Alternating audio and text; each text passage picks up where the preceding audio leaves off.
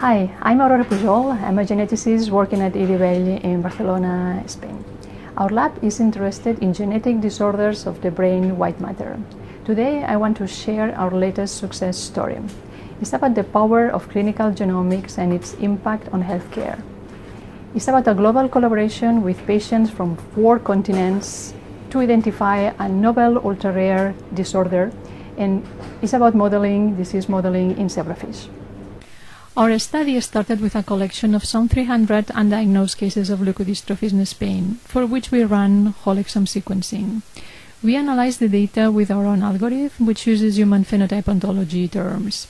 In one case, we spotted an homozygous loss of function variant on a gene not associated to disease previously, the DEGS1 gene of sphingolipid metabolism. Dysfunction of this pathway is found in neurological disorders such as Niemann-Pick, Dravet, or metachromatic leukodystrophy, so we had a good feeling to be on the right track. We contacted our collaborators Odile Boespflug-Tanguy in Paris and Ali Fatemi in Baltimore, who run reference centers for leukodystrophies, as well as the NIH program for undiagnosed diseases, asking for second cases, and found a total of 18 additional patients. Hi, I'm Dr. Ali Fatemi. I'm a pediatric neurologist at the Moser Center for Leukodystrophy at the Kennedy Krieger Institute in Baltimore, Maryland, in the United States. We identified two uh, individuals here that were siblings that had variants in just one gene, and through GeneMatcher we were able to identify the other individuals uh, worldwide, and uh, this collaboration started on that basis. This is a young child, a boy, who is um, having severe atrophy of his muscles. You see some nystagmus in his eyes. Uh, there is some facial weakness with a tented lip. You can see the uh, in his back uh, the scoliosis and some hirsutism, and again the cachexia.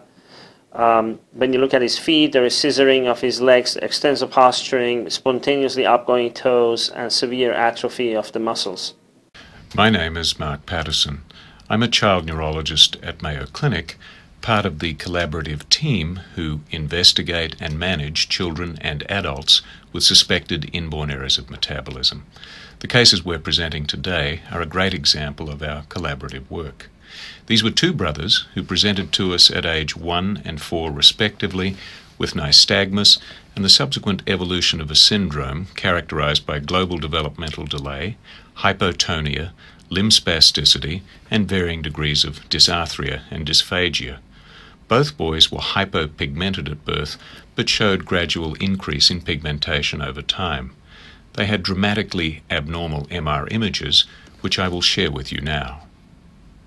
This series of T2 weighted axial images was obtained from the older brother at two years and two months of age.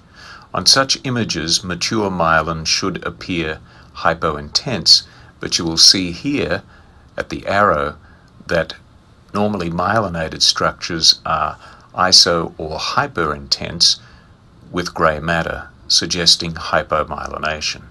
We notice as well there is signal iso or hyperintensity throughout the temporal lobes, throughout the cerebral hemispheres.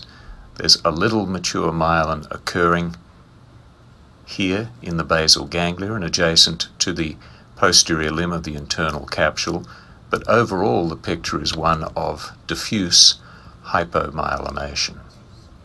We then obtain fibroblasts from patients' biopsies and use a targeted lipidomics approach to quantify the substrate, the dihydroceramides, and the product, the ceramides, detecting 3 to 8 fold altered ratios in the patients.